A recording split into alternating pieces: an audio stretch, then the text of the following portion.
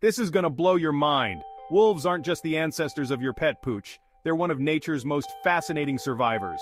From their incredible teamwork to their surprising tenderness, get ready to see wolves in a whole new light. What's so special about wolves, you ask? Well, let me take you on a wild ride.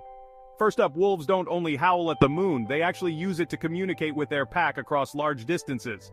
And speaking of packs, wolves are incredibly social. A typical wolf pack is like a close-knit family with strict roles and strong bonds.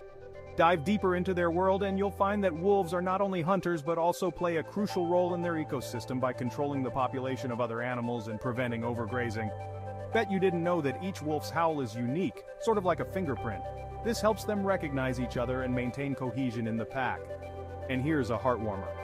Wolves are monogamous, usually sticking with one partner for life. Love truly knows no bounds in the wild. Intrigued yet? Keep following for more unbelievable slices of the wildlife of wolves.